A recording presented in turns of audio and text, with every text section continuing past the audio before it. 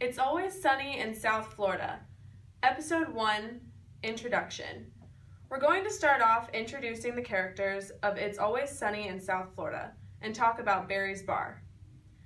Episode 2 Planning.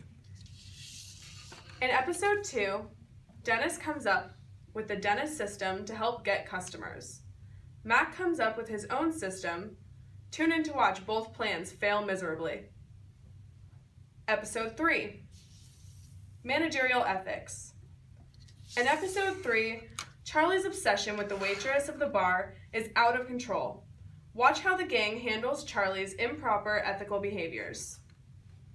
Episode 4 Change.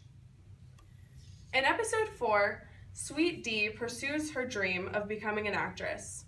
Watch as Mac and Dennis leave the responsibility of being head bartender to Charlie.